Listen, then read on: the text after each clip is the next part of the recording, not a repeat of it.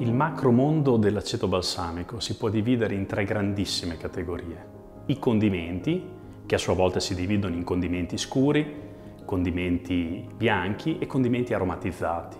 L'aceto balsamico di Modena IGP, un altro macro gruppo, e ovviamente l'aceto balsamico tradizionale di Modena.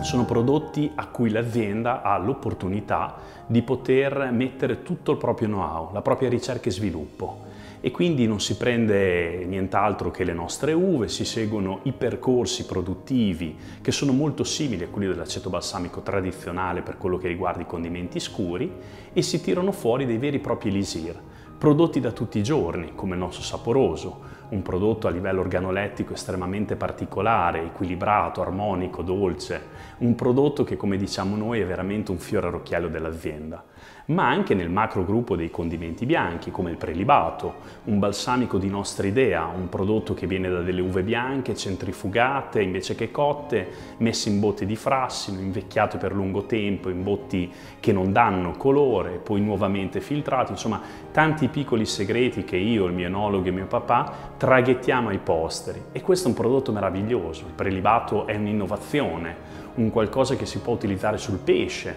è un prodotto che ha delle caratteristiche estremamente balsamiche pur essendo trasparente. E poi ci sono i condimenti aromatizzati e qui la vera ricerca e sviluppo che io e il mio staff facciamo quotidianamente è quella di cercare di creare dei mix, delle ricette di prodotti dal grande patrimonio italiano e non solo, come lo zafferano o per esempio il tartufo eh, oppure le arance. Ecco, cerchiamo di mixare questi ingredienti come vere ricette in maniera molto alchemica al fine di tirar fuori insieme ai nostri aceti di vino e appunto ai condimenti questi prodotti di un utilizzo estremamente nuovo.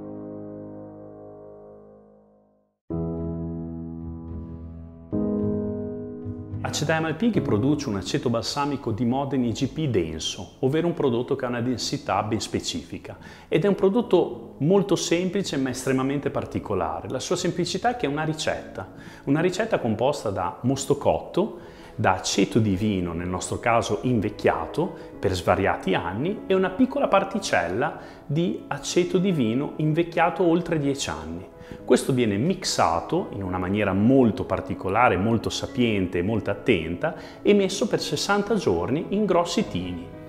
Successivamente, grazie al CSQA, che è un ente di certificazione, quando il prodotto ha un'acidità ben specifica che non deve essere al di sotto del 6% e una densità dichiarata all'inizio della stagionatura, il prodotto viene certificato imbottigliato.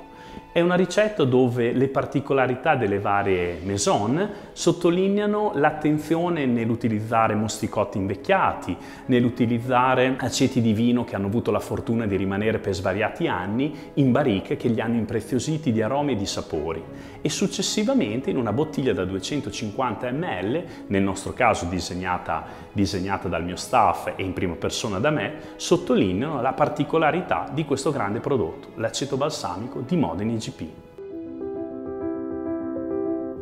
Il re degli aceti, un prodotto unico, un prodotto 100% di mosto cotto che la mia famiglia porta avanti da cinque generazioni. Abbiamo la fortuna di avere una ricetta lasciata da un nostro antenato che ci dà i giusti consigli che tuttora noi traghettiamo e lasciamo ai nostri figli, come mio padre ha lasciato a me.